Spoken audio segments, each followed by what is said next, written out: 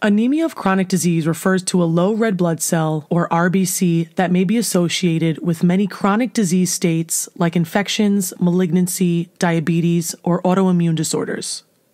The disease used to be called anemia of chronic inflammation because the underlying cause of anemia is the continuous inflammation generated by chronic disease, which impairs iron metabolism and, in turn, RBC production. The anemia itself is usually mild and is the second most common type of iron deficiency anemia.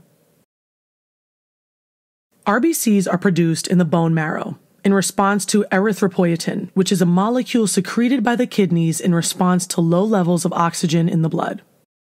Taking a closer look at our RBCs, we can see they're loaded with millions of copies of the same exact protein called hemoglobin, which binds to oxygen and turns our RBCs into little oxygen transporters that move oxygen to all of the tissues in our body. Zooming in even closer, each hemoglobin molecule is made up of four smaller heme molecules, which have iron right in the middle. Oxygen binds to the iron, so each hemoglobin molecule can bind four molecules of oxygen.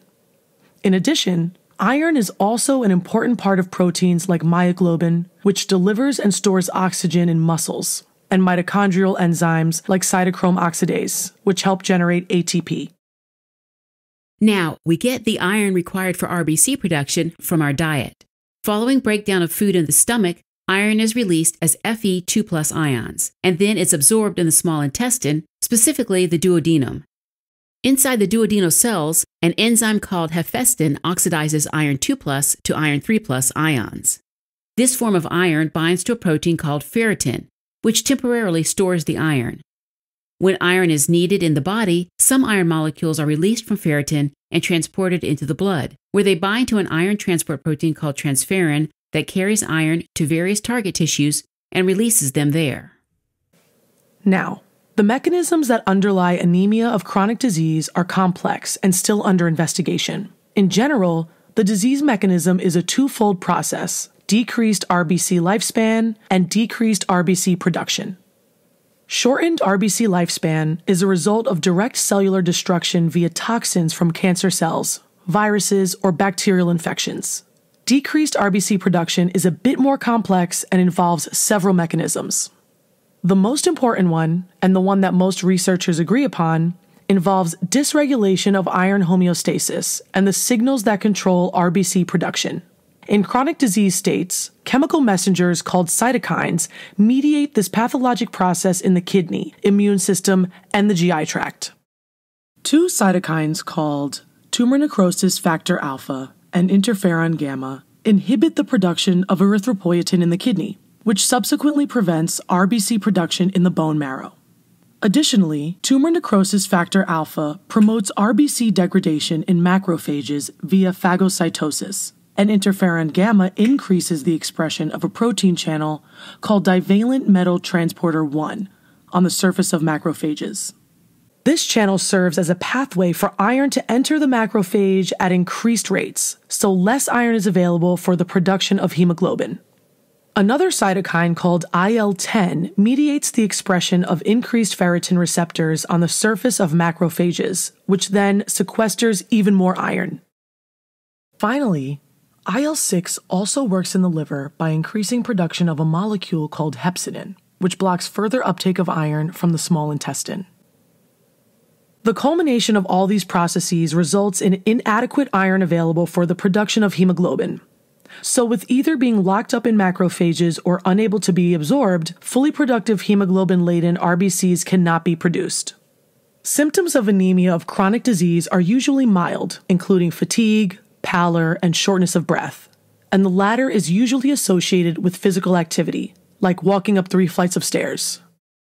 Anemia of chronic disease is usually discovered incidentally during the workup for a chronic disease process, a complete blood count usually shows mildly decreased hemoglobin, usually between 10 and 12 grams per deciliter.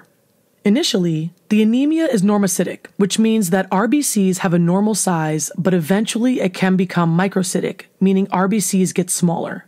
Iron studies show low serum iron levels, normal to low serum iron transferrin or total iron binding capacity, low transferrin saturation, and normal or increased serum ferritin levels.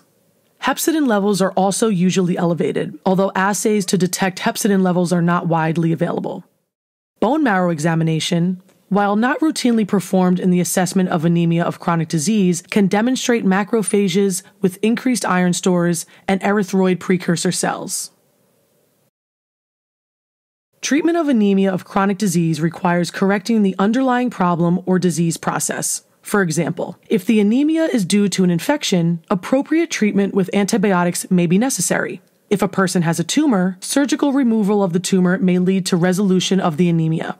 Similarly, if the anemia is due to diabetes, improved blood glucose control may result in an improvement in the anemia.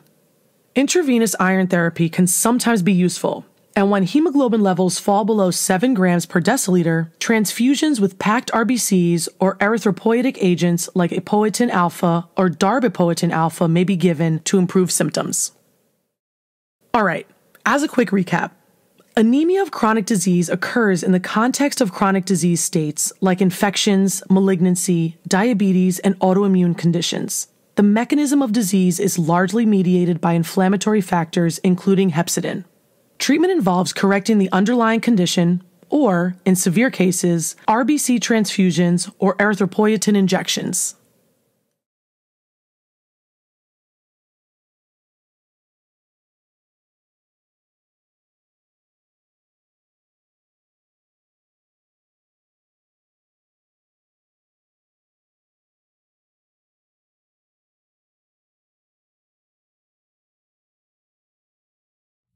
Helping current and future clinicians focus, learn, retain, and thrive.